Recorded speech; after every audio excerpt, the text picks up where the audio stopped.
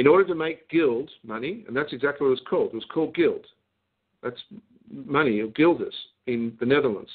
What used to be called uh, the money of the Netherlands was called guilders after guild. So, in order to make guild money, called gilt or guilty, the private bar guilds normally oversee a unique hidden trust for each controversy or suit that comes into the private Roman court. Any bonds that are generated are called gilt bonds, are connected to the hidden trust which the private bar guild members are sworn to deny exists. Now, given we've spoken about this word guilt, it might be worth, in fact, going to a different article and then we can return to this because we mentioned the word guilt.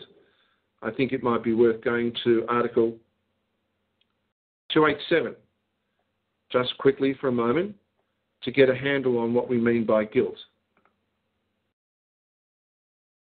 Now, if you go to Article 287 for a moment and have a look at the meaning of guilt, you find that the word guilty is actually an ancient commercial legal term. It's a commercial term associated with the private charter guilds from the 13th century, and it means literally a payment made in gold to a private guild or a debt or fine owed to the private guild. That's what guilty means. And as it mentions there, the official currency of the Kingdom of Netherlands up until the euro was called the gulden in honour. If you look at the meaning under Canon 3146, you see that the, the origin of the word comes from 14th century English Dutch guilder or from 13th century Venetian Italian guilder, meaning guild payment in gold, debt or fine owed to the guild. The word itself comes from the 8th century Khazarian Magyar language, kulta, literally meaning gold. And kulta still means gold, and kilta still means guild in Finnish today. So we go, we'll, we'll, continue on this because guilt is a key, key issue when we talk about the private bar guild. 3147.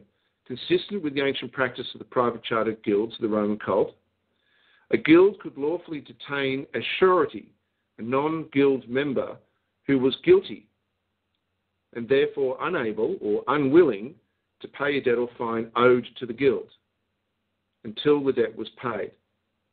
If the person had insufficient gold, guilt, to pay the guild, the guild could then issue a bond called a guilt bond against the flesh of surety and then sell it as a means of recovering the debt or fine owed to them. This is the origin of the bond. The bonds are built in. It's all the system is built in from day one. The only mystery is they hid the history. But the history is plain sight, open in plain sight.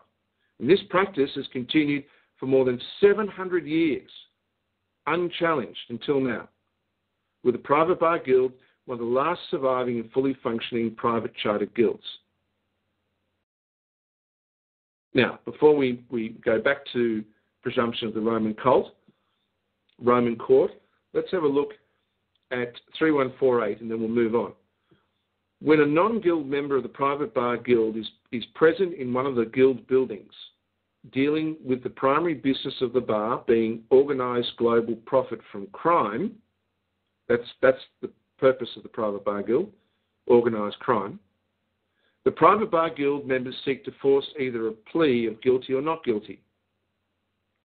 One, a plea of guilty in a building controlled by the private bar is equivalent to saying, I will pay, as a tacit consent of liability for a debt or fine owed to the guild, and is consent to the lawful detainment of the flesh of the accused as surety until the fine or debt is paid.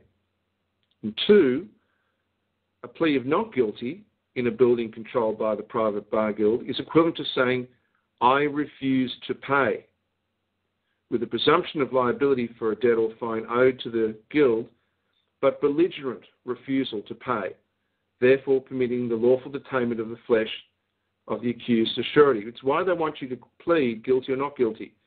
Not guilty does not mean innocent in their system. Now I'm going to flick back again to the previous canon that we were looking at, which was uh, article, article, I should say, Article 299 of the Roman Court. And I wanted to cover that area of guilt before we got into the presumptions. So now we're going to back to Canon 3228 of Article 299 of Positive Law. And we're now going to walk through the 12 key presumptions that we face when we uh, receive anything from a private Roman court. I'm going to go through this carefully and consistently because this, I believe, I have never seen the presumptions laid out in a systematic way before. So here we go. A Roman court does not operate according to any true rule of law, but by presumptions of the law. Therefore, if presumptions presented by the private bar guild are not rebutted, they become fact and are therefore said to stand true. This is Canon 3228 of Article 299 of Positive Law on the site 1 hyphen heaven. Now, there are 12 key presumptions asserted by the Private Bar Guild which, if unchallenged, stand true, being public record, public service, public oath, immunity, summons, custody, court of guardians, court of trustees, government as executor beneficiary, executor de son tort, incompetence, and guilt. Let's go through these now. One, the presumption of public record is that any matter brought before a lower Roman court, there's a spelling mistake there, is a matter for the public record, when in fact it is presumed by the members of the private bar guild that the matter is a private bar guild business matter. So, in other words, when you go to court, you assume that it is a court of record. It's not a court of record. Very few of their courts are courts of public record. Usually the highest courts of appeal, the Supreme Courts, and unless openly rebuked and rejected by stating clearly the matter is to be on the public record, the matter remains a private bar guild matter completely under private bar guild rules. So that's the first presumption that people make. The second presumption, two, the presumption of public service, is that all members of the private bar guild who have all sworn a solemn, secret, absolute oath to their guild then act as public agents of the government or public officials by making additional oaths of public office that openly and deliberately contradict their private superior oaths to their own guild. So let's make that clear because this is a very important point here. The presumption of public service is that members of a secret occult guild who have sworn an absolute oath to that guild are legitimate public servants because they have taken a second oath, a lower oath, that contradicts their guild and therefore are public servants. So, unless openly rebuked and rejected, the claim stands that these private bar guild members are in fact legitimate public servants and therefore trustees under public oath. That's the second presumption. Three, the presumption of public oath is that all members of the private bar guild acting in the capacity of public officials who have sworn a solemn public oath remain bound by that oath and therefore bound to serve honestly, impartially, and fairly as dictated by their oath. Now, unless openly challenged and demanded, the presumption stands that the bar, private bar guild members have functioned under their public oath in contradiction to their guild oath. If challenged, such individuals must recuse themselves as having a conflict of interest and cannot possibly stand under a public oath. You cannot serve two masters. This is why, when the oath is demanded, the judges and magistrates go ballistic. Because their oath cannot stand. They cannot. If you drive home the death blow, are you also a member of a private legal association? Are you not a member of the Bar Association? Therefore, how can, how can your oath possibly stand? If your public oath cannot possibly stand, how can you possibly be a public servant, a public trustee? It can't. Which goes to the presumption of point four. They're all connected. Here we go. Presumption point four.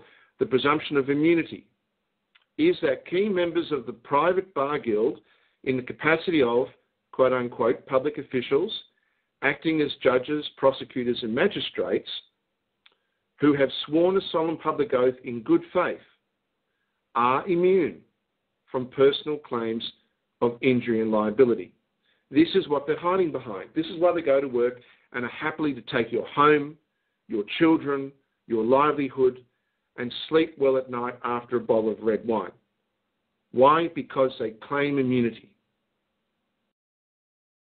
Unless the presumption is openly challenged and the oath demanded, the presumption stands that the members of the private bar guild, as public trustees, that's the source of their immunity, as public trustees, acting as judges, prosecutors, and magistrates, are immune from any personal accountability for their actions. Take away their immunity, and they will run for the hills. Fifth assumption.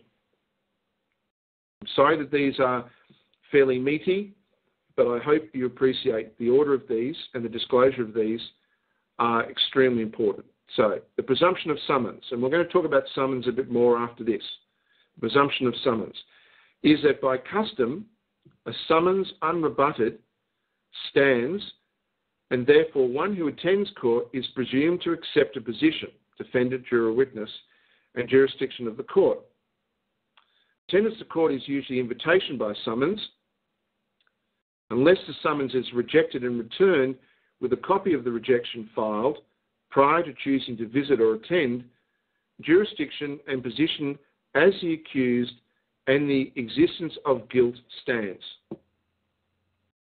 Now, with that, I think it is worthwhile going to Article 306, summons, for a moment, and just looking at summons in a bit more detail. So I'm now going to click to Canon article, I should say, Article 306, where I'd like to go through with you some of the canons relating to summons. And the reason I want to go through this is because I've been asked many times how one should deal with summons. And there's been many, many different opinions on summons. And I have to say, I've never seen it as clearly as it needs to be in understanding what we mean by a summons. So, for those that have just come onto the call, we're looking at aspects of positive law from one-heaven.org, positive law, and now Article 306 summons before we return to the list of 12 key presumptions of Roman court. So, under summons, what do we mean by summons? Well, Canon 3262. A summons is a formal writ of demand for someone to attend an official forum and event at a given time and day based on one or more presumptions that, if not rebutted in writing before the day and time, are presumed to stand true. The royal wedding invitation, and it was an invitation, actually was a summons. And if you go and have a look, go and have a look at the text of the royal wedding invitation, you'll see that it was a summons by the monarch. Now, Canon 3263. Why, why do we know that it's presumption? Because of the meaning of the word. The word summons was created in the 16th century from two Latin words, sumo, meaning to take up, to presume, assume, arrogate, or undertake to exact a punishment. And monere, meaning to remind, advise, warn, instruct, or foretell. So, built into the word is is presume